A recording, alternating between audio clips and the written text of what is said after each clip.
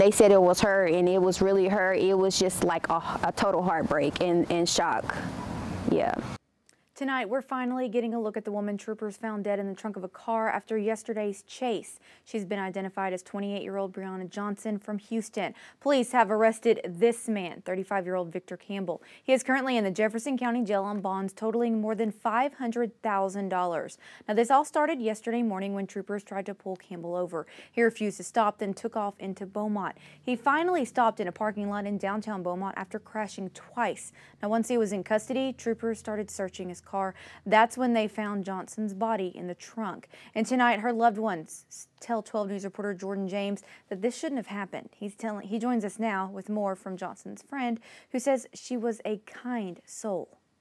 Briana Johnson is being remembered by a classmate as a young woman with a lot of potential who life was taken too soon. I just, I just, I just can't wrap my head around it right now. Disappointment and disbelief. I think I'm still in shock. Sums up how many family and friends are feeling after learning about the death of Briana Johnson. It just doesn't seem that this type of incident will happen to her to, to be found in the trunk of a car, it was just it was just so heartbreaking. Tiffany Goodman attended college at Texas Southern University with Johnson and says she was special. She was a very confident and educated black woman. She was the sweetest person that you would probably ever come across she she was just a beautiful person just in general. Johnson's body was found in the trunk of a white Honda that Victor Campbell was driving. He led law enforcement on a chase from Chambers County to downtown Beaumont Saturday morning. Goodman says Johnson and Campbell were in a relationship. Less than a week ago, the two celebrated her birthday in Galveston, causing lingering questions for friends like Goodman. It all looked good but we never know what's going on in someone's household.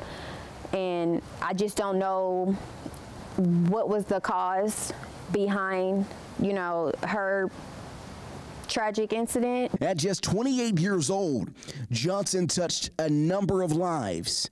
Even in death, her legacy will continue to live on. All we can do is try to, you know, wrap our arms around our loved ones and our friends while they are here and love on each other while they're here. The Johnson family has set up a GoFundMe account to help them with funeral expenses. Their goal is to try to get Briana's body back to her hometown in California. If you would like to help out, we have a link to that on our website. Reporting here in Beaumont, Jordan James, 12 News.